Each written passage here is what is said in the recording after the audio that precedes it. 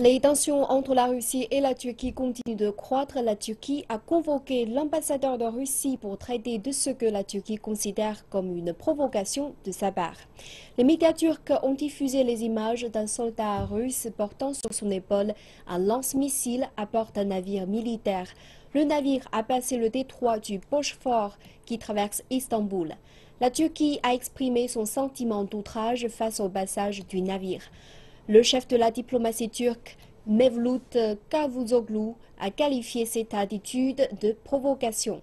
Lundi dernier, la Turquie a convoqué l'ambassadeur de Russie à Ankara et a souligné que de telles actions ne devraient pas être répétées.